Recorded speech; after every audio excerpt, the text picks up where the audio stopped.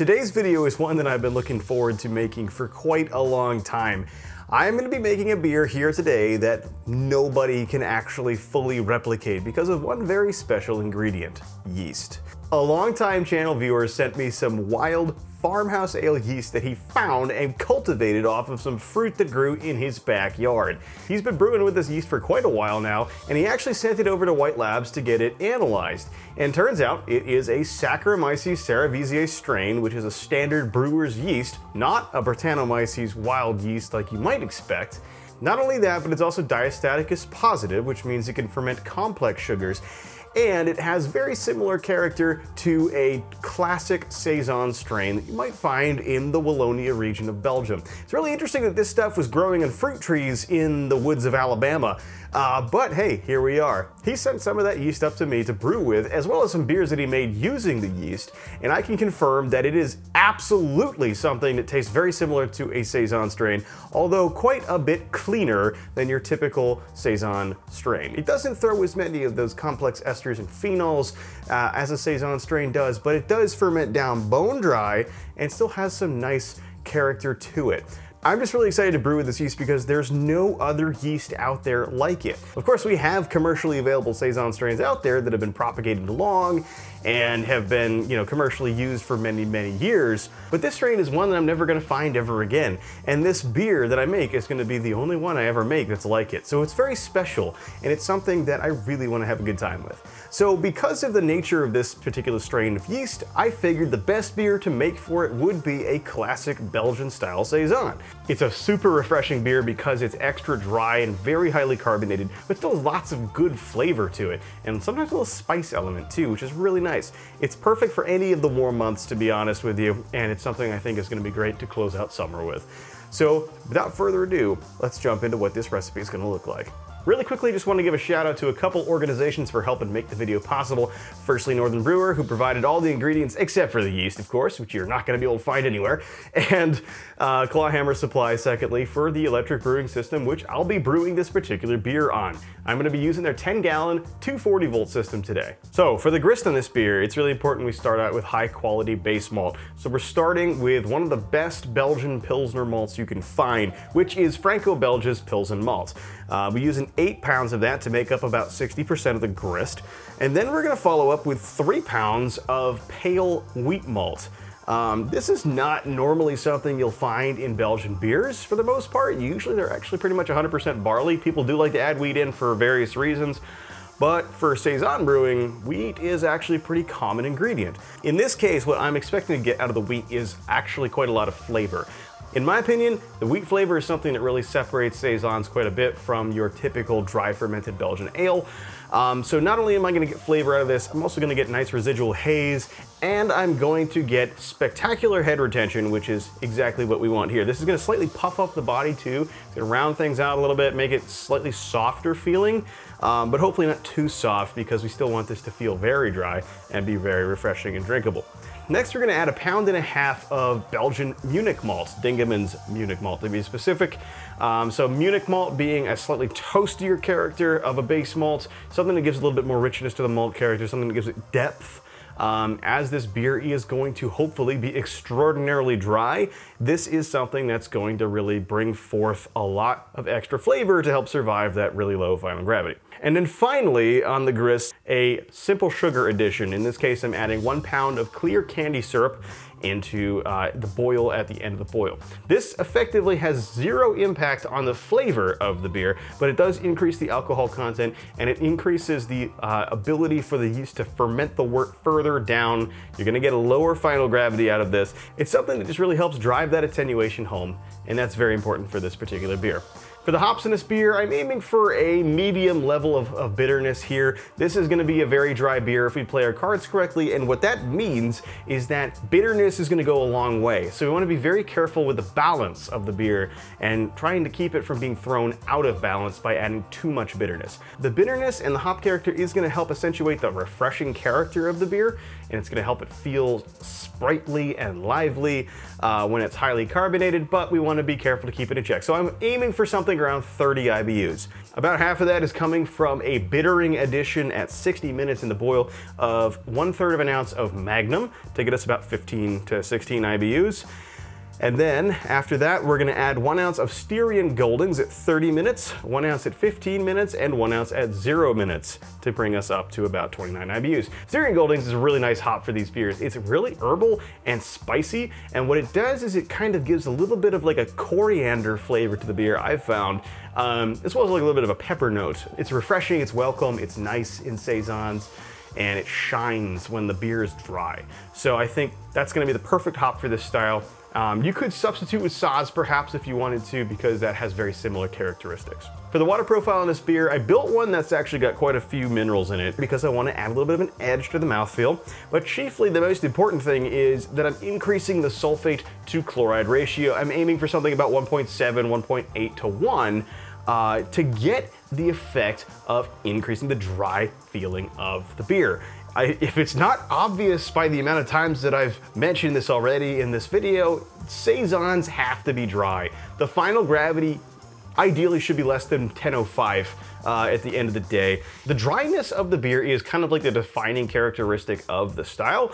Um, you definitely have an increased level of dryness relative to other Belgian ales, and that's what makes it refreshing. It's what makes it thirst quenching. Um, originally, these beers were made to be uh, basically thirst quenchers for the farmers in the fields of the Wallonia region of Belgium, which is still to this day very rural. Because they were using the wild yeast in the region, which was diastatic diastaticus positive, you were getting so much dryness out of them. And that's what carried on throughout the years to keep the style the way it is. With the water profile capitalizing on that drying effect, it really just drives it home that it should be dry and refreshing and it should feel like you're drinking champagne almost in the level of dryness that we're asking for here. So the water profile I'm getting is 99 parts per million of calcium, 10 parts per million of magnesium, 34 parts per million of sodium, 108 parts per million of chloride, 187 parts per million of sulfate, and 16 parts per million of bicarbonate. And in order to get that water profile, I am starting out with reverse osmosis water, which has trace amounts of those minerals in it already. Uh, but I'm adding to about eight gallons of that reverse osmosis water, four grams of calcium chloride, two grams of sodium chloride, three grams of Epsom salts, and eight grams of gypsum salts. For the yeast in this beer, this is the special ingredient here. You're not gonna be able to find the random wild yeast that my buddy cultivated off of fruit from his backyard in Alabama. But you can use, I would recommend, a Belgian style Saison yeast. The best recommendations I have for you are Wyeast 3726 Farmhouse Ale or Wyeast 3724 Belgian Saison. These are the Brasserie de Blaugies and the Brasserie Dupont strains respectively, and the latter is available through many other different manufacturers as your typical like Belgian Saison kind of strain. These are great for fermenting Saisons. They'll get super dry and they will kick out lots of esters and phenols to create lots of great flavor. This particular farmhouse ale strain I'm going to be using here is to get me similar character, but it's probably not going to be nearly as expressive as those Belgian strains that I mentioned. So just keep that in mind when you're designing your recipe. If you're so inclined, you could add spices to this beer as well. Although it's typically not done in most Belgian ales, it's not that uncommon for Saisons to be spiced. There are spiced ones and there are non-spiced ones. The uh, non-spiced ones are certainly more common. But if you want to add a little bit of extra character to the beer, orange, coriander, variations of pepper, those spices kind of really are what you would be looking for. I just would highly recommend that if you are going to be using spices in a particular beer like this, use a very, very light hand. Only a few grams of each spice is all you need for an entire five gallon batch. So just don't go crazy with them, you will regret that. Lastly, for the mashing the beer, I'm gonna be mashing this one with a step mash. You don't have to do this. If you don't have the ability to do a step mash, totally fine. These beers can be made with a single infusion rest, a single rest at about 146 degrees Fahrenheit or 63 degrees Celsius. This is a nice low temperature. Hold that mash rest as long as you feel comfortable that you're gonna get complete conversion. I would recommend 60 minute mash rest. You can probably get away with less, but you'll get incomplete conversion and could have a less fermentable wort. The idea here is you have as fermentable of a wort as possible, so getting all of the conversion that can take place with a beta amylase enzyme, getting you these short chain sugars that are super fermentable, and getting your final gravity all the way down to where it needs to be. In my case, I'll be doing my typical two-step mash, about 148 degrees Fahrenheit for about 45 minutes, and then 158 degrees Fahrenheit for 30 minutes, followed up by a mash out at 170 for 15 minutes. Not a necessary thing to do, but it's just my habits. I'm excited to get this beer going. It should be ready relatively quickly, um, depending on how long the diastaticus takes to do its thing, but from what my friend has told me, it doesn't take very long at all. Anyway guys, let's get brewing. I started out by adding 8 gallons of reverse osmosis water to my 10 gallon 240 volt clawhammer supply system and started to heat it up to the temperature of the first mash rest. As everything was heating up, I milled out my grain, I also measured out the water salts and added those into the strike water as it was heating up. Once I reached the target mash rest temperature for the first step of 148 Fahrenheit, I doughed in with the entire grain bill, stirring it up thoroughly, making sure to distribute it evenly and avoiding any dough clumps. I let the mash recirculate for about 10 minutes before pulling a sample for a pH measurement to confirm the mash pH. Uh, measured at 5.1 uh, at a hot temperature, which really actually translates to more like 5.3, 5.4, which is exactly on target. So I did nothing to adjust the pH levels in the mash and left it as it was. I let the mash continue at 148 Fahrenheit for another 45 minutes, and then I stepped it up to the next step of 158 Fahrenheit and let it rest there for 30 minutes. Finally, stepping up to 170 Fahrenheit for 15 minutes. Once everything was complete with the mash, I pulled out the grain basket and let that drain over the kettle for about 15 minutes while I heated the kettle up towards the boil. Once about 15 minutes of draining had taken place, I removed the grain basket and carried on fully towards a boil. At the 60 minute mark at the top of the boil, I started out by adding my bittering addition, which was one third of an ounce of Magnum hops allowed those to sit and boil in the wort for 30 minutes before adding any more hops. At the 30 minute mark, I added 1 ounce of Styrian Goldings, let the boil continue for 15 more minutes, then added 1 more ounce of Styrian Goldings at the 15 minute mark. Let the boil continue for 5 more minutes, and then I added in Whirlfloc and Yeast Nutrient.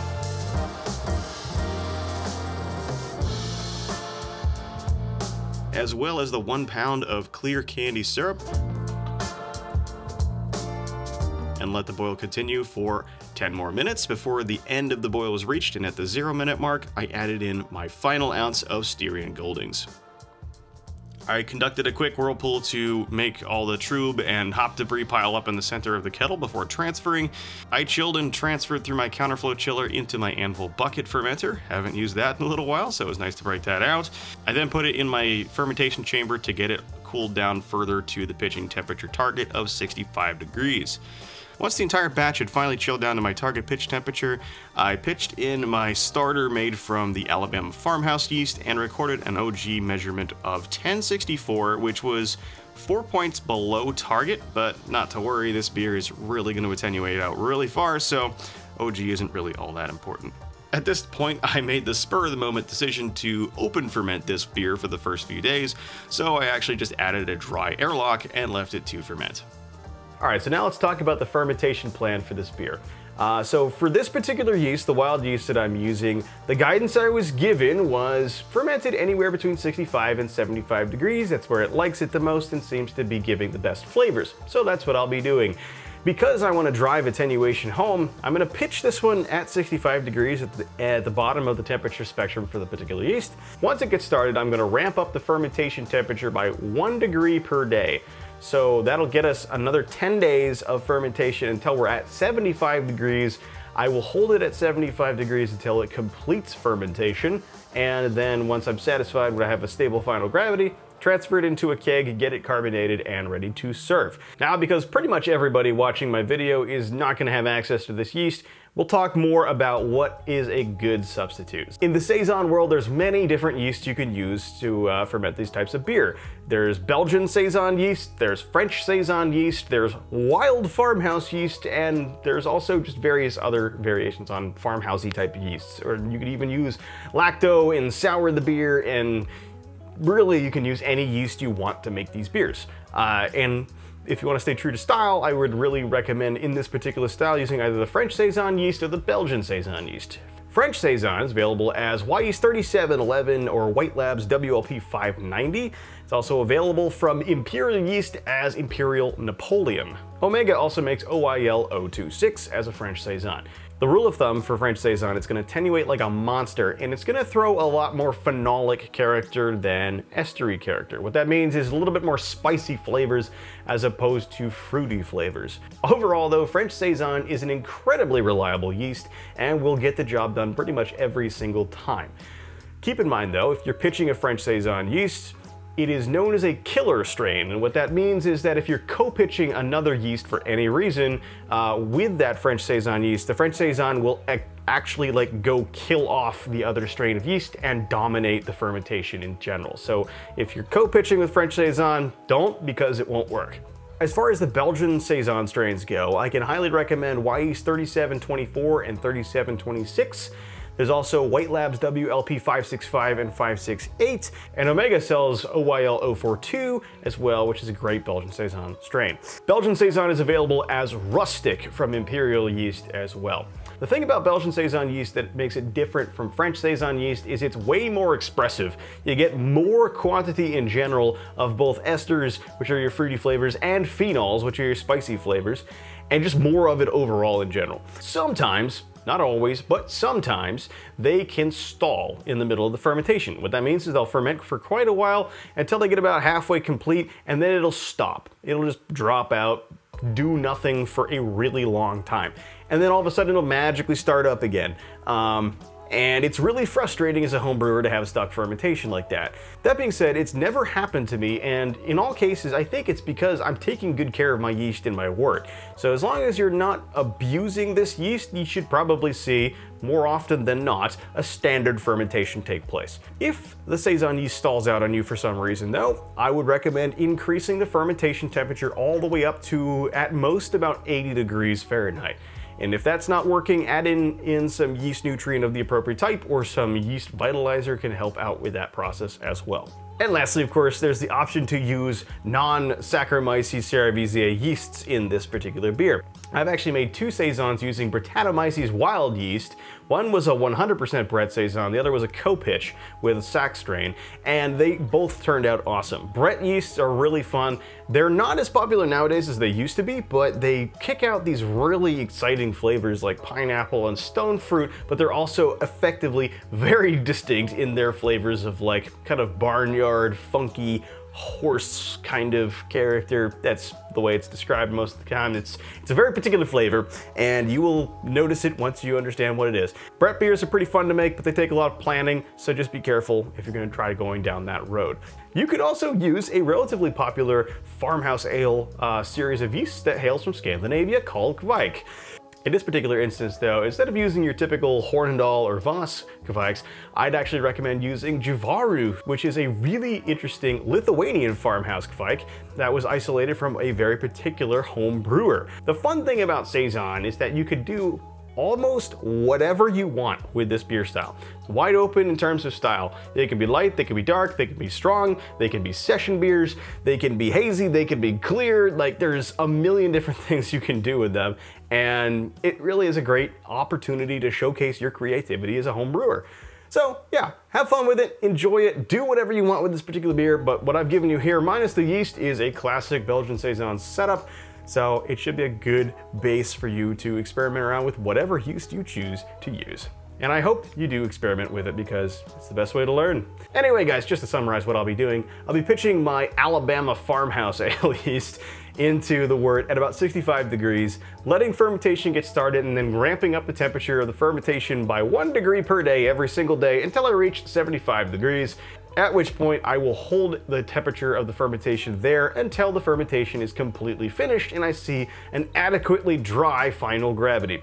At that point, if the beer is tasting good and it's actually finished the fermentation, I'll transfer into my keg and get that carbonated up and ready to serve. Should be a great time, and I'm really excited to share this with you and see what comes of this particular yeast. And until then, cheers. Fermentation for this beer was actually a lot faster than I anticipated. Um, so, as I mentioned earlier, the first three days were done as an open ferment with a dry airlock. However, once I saw that the Krausen was starting to fall and the uh, CO2 production was starting to decrease, I swapped out the dry airlock with a full airlock to allow uh, for the CO2 to be captured and to uh, ward off any oxidation concerns. Because of the diastaticus on this beer, I did leave it a lot longer to condition uh, and really just dry itself out, but I saw my final gravity of 1003 within the first 10 days, and I'm quite happy with that level of attenuation at 96%. Shortly thereafter, I kegged the beer and then force carbonated to a higher than standard level of carbonation uh, so that we can really get the most out of this effervescence beer. The beer is called Jean Belgian, and it comes in at 8% ABV and 29 IBUs. I had to pour this one very slowly using my flow restrictor taps because of the high carbonation level, but it does a pretty good job of keeping the carbonation in, and it is worth the extra time it takes to pour.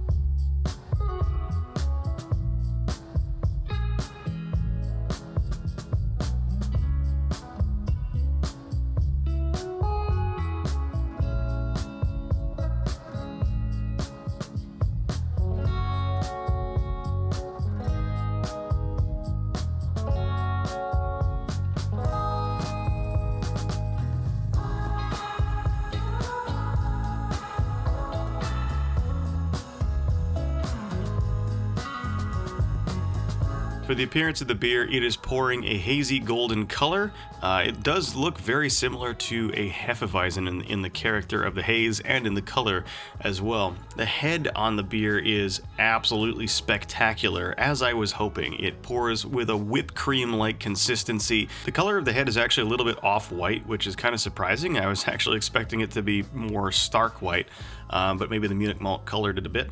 Either way, it has a really wonderful consistency that is somewhere between latte foam and whipped cream. It's it's awesome. All right, so now let's go in for aroma. On the aroma, I think I'm getting a sweet malt character.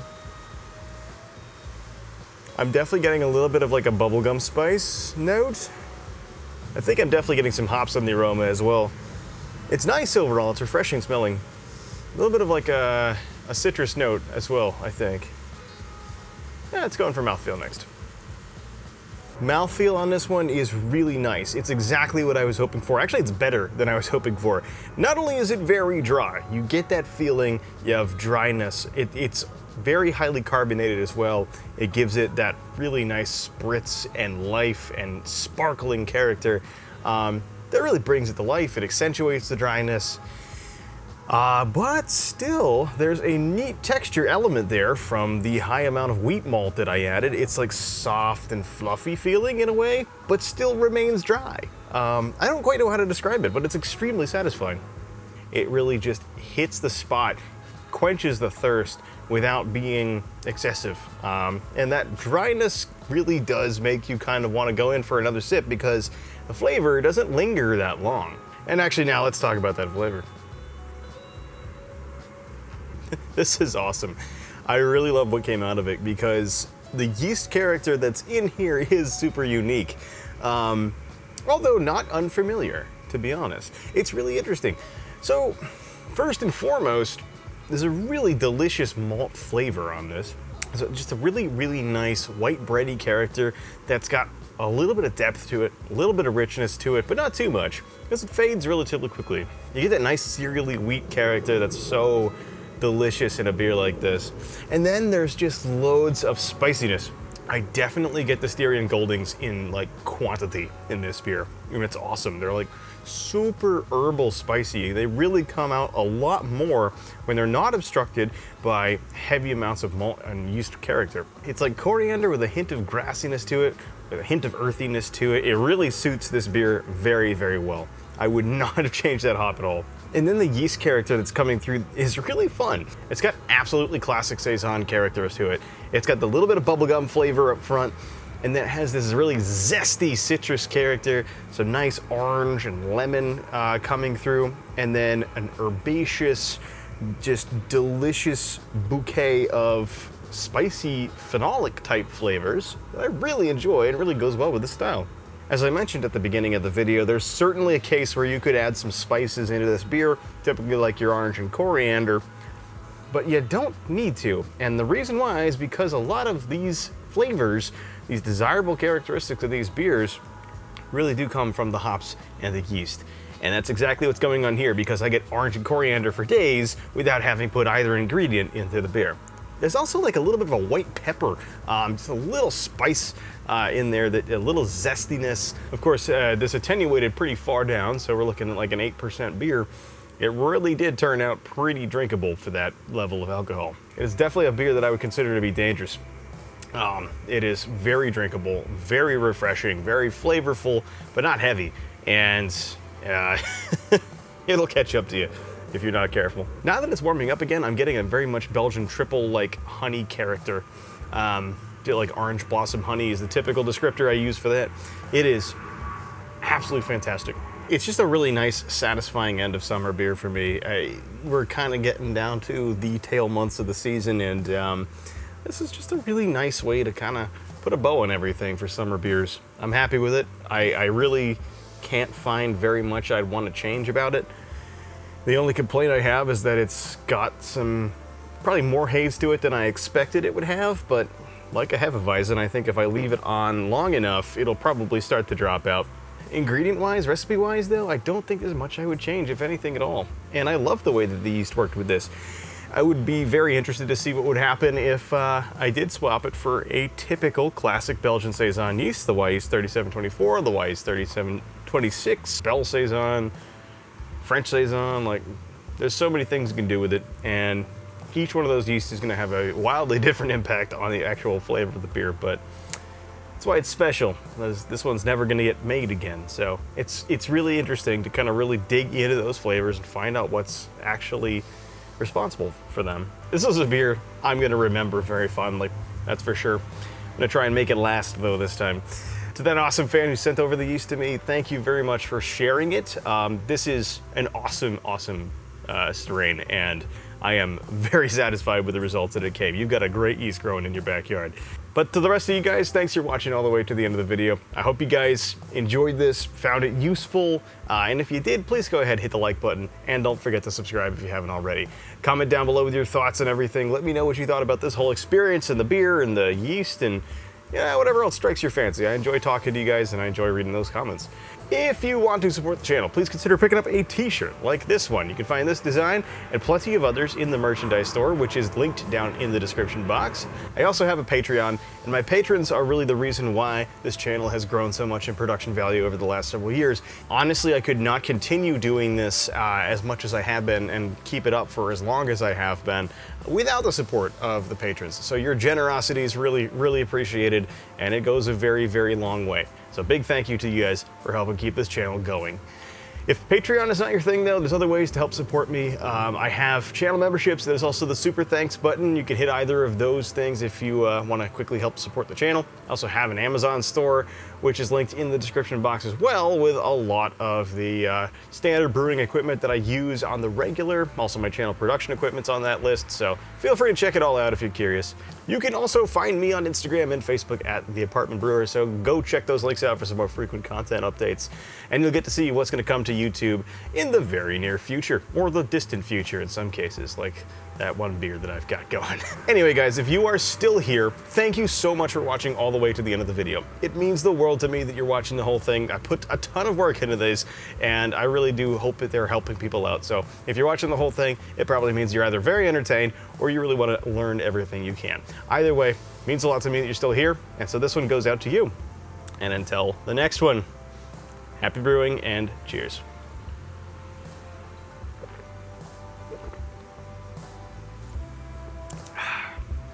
That's a good beer. Hmm.